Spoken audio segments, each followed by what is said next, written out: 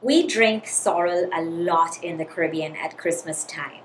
And in Guyana, not Guyana, I grew up thinking that you just use the fruit to make drink.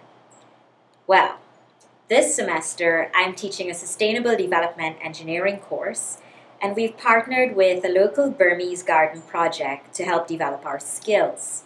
Designed to improve livelihoods of refugees in the Tampa Bay, the garden is located at the St. Mary's Ethiopian Orthodox Church. Refugees grow many crops that they're familiar with from their home country. Yesterday, when I was there, I was excited to see the sorrel plants laden with fruit. And when I asked Laku what he called it and how he used it, I got an amazing sustainability lesson in sorrel use and production.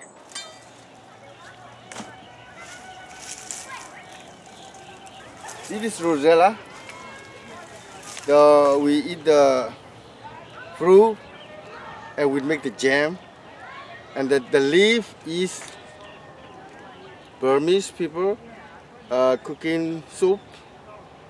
And the seed, many seed, we make the wine. Yes, and then this is this thread is uh, we make the thread and uh, make the clothes. Yes.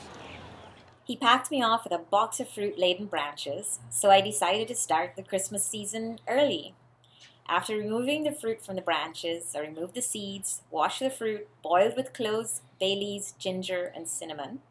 And thanks to my Facebook network, Lena and Guyana advised that I could use honey instead of sugar and instructed on what to do with the fruit. Mash or blend and use as a spread. She's going to try cooking the leaves like the Burmese do, and I'm going to ask my students to find out more about using the seeds to make wine and the stem to make clothing.